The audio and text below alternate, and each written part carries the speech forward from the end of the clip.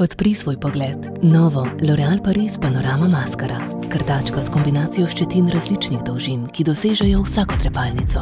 Za oči, ki bodo izgledale do 1,4 krat večje. Doživi panorama volumen, ker se cenite.